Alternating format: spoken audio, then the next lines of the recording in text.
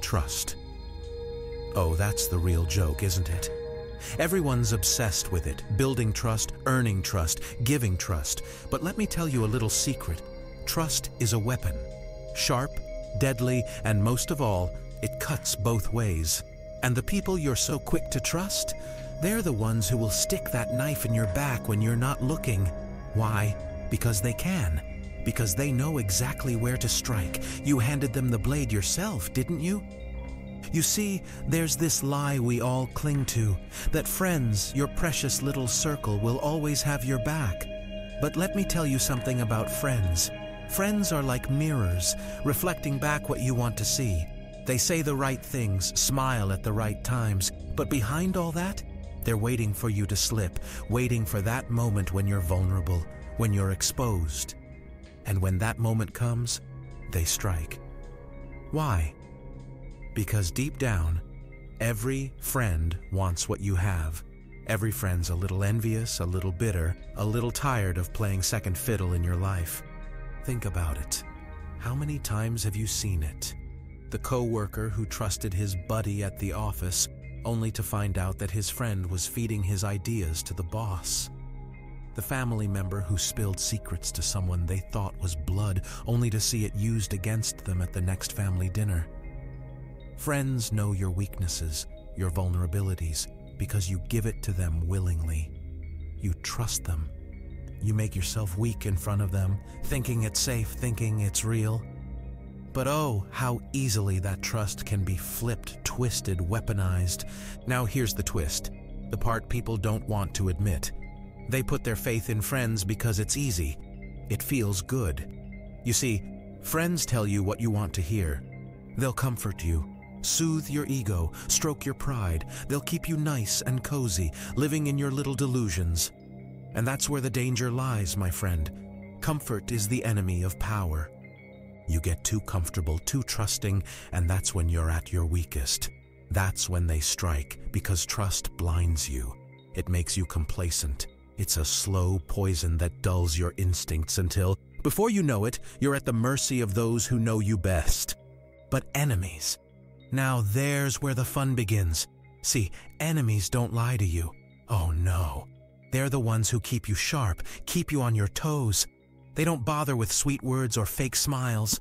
They show you exactly who they are, blunt, brutal, and honest. They're not trying to comfort you, they're trying to take you down. And that's where their real value lies. An enemy, you see, can be trusted to be an enemy.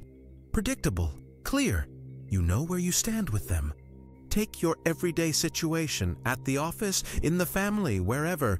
Let's call him Bob. Bob's got this old friend, Steve.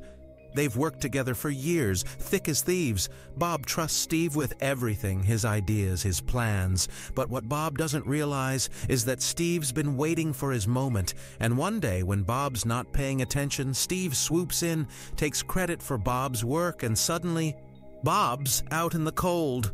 Why? because Steve had access. He knew where Bob's weak spots were, and Bob, well, he was blinded by trust. Poor Bob. Now, let's say instead of trusting Steve, Bob kept his distance, kept his cards close to his chest.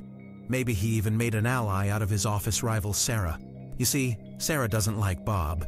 She's made that clear from day one. But Sarah's ambition? Well, that's useful.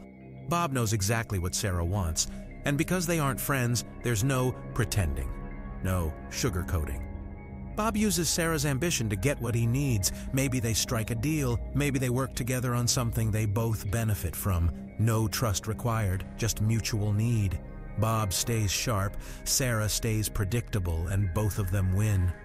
Steve, he's left in the dust, wondering what happened. That's the real power play. Learn how to use your enemies. They're far more valuable than your so-called friends. Your enemies will keep you focused, keep you alert, because they force you to watch your back. You're always calculating, always strategizing, you never get soft. Friends, they lull you into a false sense of security.